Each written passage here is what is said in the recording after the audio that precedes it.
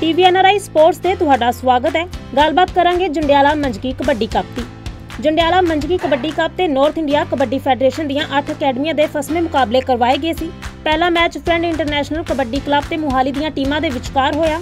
Friends international kabaddi club ਨੇ 29.5 ਅੰਕਾਂ ਦੇ ਮੁਕਾਬਲੇ 35 ਅੰਕ ਬਣਾ ਕੇ ਮੁਹਾਲੀ ਦੀ ਟੀਮ ਨੂੰ ਹਰਾਇਆ ਅਤੇ ਇਹ ਮੁਕਾਬਲਾ ਆਪਣੇ ਨਾਮ ਕੀਤਾ। ਫਸਵੇਂ ਮੁਕਾਬਲੇ ਦੇ ਵਿੱਚ 64 ਰੇਡਾਂ ਪਈਆਂ ਅਤੇ 31 ਰਿਕਾਰਡ ਤੋੜ ਜੱਫੇ ਲੱਗੇ। ਦੂਜਾ ਮੈਚ ਸੁਰਖਪੁਰ ਅਤੇ ਡੀਏਵੀ ਜਲੰਧਰ ਦੀਆਂ ਟੀਮਾਂ ਦੇ ਵਿਚਕਾਰ ਹੋਇਆ। ਸੁਰਖਪੁਰ ਦੀ ਟੀਮ ਨੇ 27 ਅੰਕਾਂ ਦੇ ਮੁਕਾਬਲੇ 35.5 ਅੰਕ ਬਣਾਏ ਅਤੇ ਡੀਏਵੀ ਜਲੰਧਰ ਨੂੰ ਹਰਾਇਆ। ਤੀਜਾ ਮੈਚ ਰਾਇਲ ਕਿੰਗਸ ਯੂਐਸਏ ਅਤੇ ਨਾਨਕਸਰ ਮਾਲਵਾ ਦੀਆਂ ਟੀਮਾਂ ਦੇ ਵਿਚਕਾਰ ਹੋਇਆ। ਰਾਇਲਸ ਕਿੰਗ ਯੂਐਸਏ ਦੀ ਟੀਮ ਨੇ 31 ਅੰਕਾਂ ਦੇ ਮੁਕਾਬਲੇ 36.5 ਅੰਕ ਬਣਾਏ ਅਤੇ ਨਾਨਕਸਰ ਮਾਲਵਾ ਨੂੰ ਹਰਾਇਆ। ਚੌਥਾ ਮੈਚ ਦਸ਼ਮੇਸ਼ ਕਬੱਡੀ ਕਲੱਬ ਨਕੋਦਰ ਅਤੇ ਸਰਹਾਲਾ ਰਨੂਆ ਦੀਆਂ ਟੀਮਾਂ ਦੇ ਵਿਚਕਾਰ ਹੋਇਆ।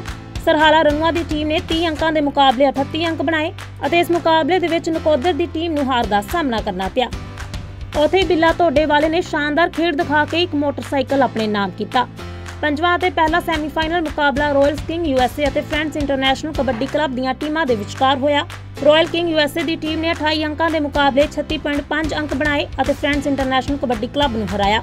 ਛੇਵਾਂ ਮੈਚ ਅਤੇ ਦੂਜਾ ਸੈਮੀਫਾਈਨਲ ਮੁਕਾਬਲਾ ਸਰਹਾਲਾ ਰਨੂਆ ਅਤੇ ਸੁਰਖਪੁਰ ਦੀਆਂ ਟੀਮਾਂ ਦੇ ਵਿਚਕਾਰ ਹੋਇਆ। ਇਹ ਮੁਕਾਬਲਾ ਸਭ ਤੋਂ ਫਸਮਾ ਰਿਹਾ। ਸੁਰਖਪੁਰ ਦੀ ਟੀਮ ਨੇ 40 ਅੰਕਾਂ ਦੇ ਮੁਕਾਬਲੇ 40.5 ਅੰਕ ਬਣਾਏ ਅਤੇ ਸਰਹਾਲਾ ਰਨੂਆ ਨੂੰ ਹਰਾਇਆ।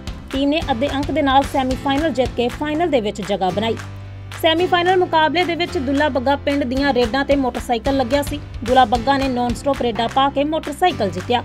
ਸੰਦੀਪ ਮਹਿਦਵਾਲ ਦੀਆਂ ਕਬੱਡੀਆਂ ਤੇ ਵੀ ਮੋਟਰਸਾਈਕਲ ਲੱਗਿਆ ਸੀ। ਸੰਦੀਪ ਮਹਿਦਵਾਲ ਨੇ ਵੀ ਮੋਟਰਸਾਈਕਲ ਜਿੱਤਿਆ। ਜੰਡਿਆਲਾ ਮੰਚਕੀ ਕਬੱਡੀ ਕੱਪ ਦਾ ਫਾਈਨਲ ਮੁਕਾਬਲਾ ਰਾਇਲਸ ਕਿੰਗ ਯੂਐਸਏ ਅਤੇ ਸੁਰਖਪੁਰ ਦੀਆਂ ਟੀਮਾਂ ਦੇ ਵਿਚਕਾਰ ਹੋਇਆ। ਫਾਈਨਲ ਮੁਕਾਬਲਾ ਵੀ ਬਹੁਤ ਫਸਮਾ ਰਿਹਾ ਅਤੇ ਇਸ ਦੇ ਵਿੱਚ ਅੱਧੇ ਅੰਕ ਤੇ ਜਿੱਤ ਹਾਰ ਦਾ ਫੈਸਲਾ ਹੋਇਆ। ਰਾਇਲ ਕਿੰਗਸ ਯੂਐਸਏ ਦੀ ਟੀਮ ਨੇ 37 ਅੰਕਾਂ ਦੇ ਮੁਕਾਬਲੇ 37.5 ਅੰਕ ਬਣਾ ਕੇ ਸੁਰਖਪੁਰ ਦੀ ਟੀਮ ਨੂੰ ਹਾਰ ਦਾ ਮੂੰਹ ਦਿਖਾਇਆ।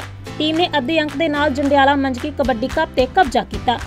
ਪਹਿਲੇ ਨੰਬਰ ਤੇ ਆਈ ਰਾਇਲ ਕਿੰਗ ਯੂਐਸਏ ਦੀ ਟੀਮ ਨੂੰ 2 ਲੱਖ ਰੁਪਈਆ ਦਾ ਇਨਾਮ ਅਤੇ ਦੂਜੇ ਨੰਬਰ ਤੇ ਆਈ ਸੁਰਖਪੁਰ ਦੀ ਟੀਮ ਨੂੰ 1 ਲੱਖ 50 ਹਜ਼ਾਰ ਰੁਪਈਆ ਦਾ ਇਨਾਮ ਦਿੱਤਾ ਗਿਆ। ਇਸ ਕਬੱਡੀ ਕੱਪ ਦਾ ਬੈਸਟ ਰੇਡਰ ਗੱਗੀ ਖੀਰਾਵਾਲੀ ਅਤੇ ਬੈਸਟ ਜਾਫੀ ਫਰਿਆਦ ਸ਼ਕਰਪੁਰ ਰਿਹਾ। ਇਸ ਤੋਂ ਇਲਾਵਾ ਫਰਿਆਦ ਅਲੀ ਦੇ ਜੱਫਿਆਂ ਤੇ ਵੀ ਮੋਟਰਸਾਈਕਲ ਲੱਗੇ ਹੋਏ ਸਨ। ਫਰਿਆਦ ਅਲੀ ਨੇ 8 ਜੱਫੇ ਲਗਾ ਕੇ 2 ਮੋਟਰਸਾਈਕਲ ਜਿੱਤੇ। ਜੰਡਿਆਲਾ ਮੰਜਕੀ ਕਬੱਡੀ ਕੱਪ ਤੇ ਕੀਤੇ ਗਏ ਸਨਮਾਨਾਂ ਦਾ ਵੇਰਵਾ ਕੁਝ ਇਸ ਤਰੀਕੇ ਦੇ ਨਾਲ ਹੈ। ਇੱਥੇ ਸੁਦਰਸ਼ਨ ਚਾਹਲ ਨੂੰ ਕ੍ਰੇਟਾ ਕਾਰ ਦੇ ਨਾਲ ਸਨਮਾਨਿਤ ਕੀਤਾ ਗਿਆ। ਸਤਪਾਲ ਮਾਫੀ ਨੂੰ ਆਲਟੋ ਕਾਰ ਦੇ ਕੇ ਸਨਮਾਨਿਤ ਕੀਤਾ ਗਿਆ।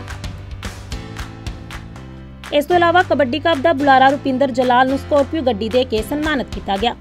ਕਬੱਡੀ ਮੈਚਾਂ ਤੋਂ ਬਾਅਦ ਕਲਾਕਾਰਾਂ ਦਾ ਖੁੱਲਾ ਅਖਾੜਾ ਲੱਗਿਆ।